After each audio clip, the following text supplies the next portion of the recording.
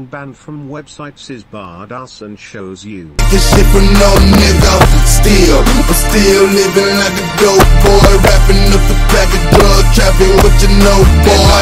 Still, I'm still living like a dope dealer, finger on the trigger, I ain't taking shit from no nigga. Still, I'm still living like a dope boy, wrapping up the pack of drug traffic, what you know. I've been banned from some websites permanently and been banned permanently several times on a single site because I ain't talking them banning me for the rest of my life until my body ceases to function and I'm in a hole in the ground for the rest of eternity and nothing matters anymore.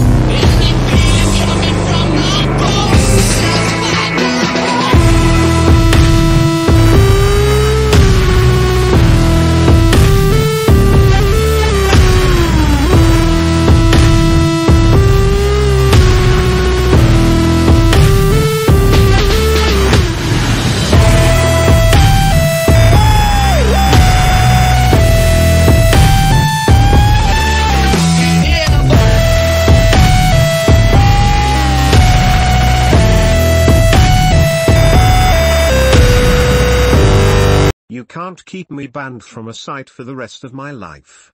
I come back and have come back yet again on these sites. I am like an undercover agent. They keep my pages up as some sort of lesson, like a Wikipedia article itself and not just to use a page. I wasn't disruptive, all I did was correcting these suckers on their biases. They are the most biased individuals in the world, whether or not they acknowledge it and moderators on there and other sites absolutely suck ass and are terrible individuals, the most shitty on the planet. They are scum, not some heroes. They are rude as hell too. They are the trolls, not me.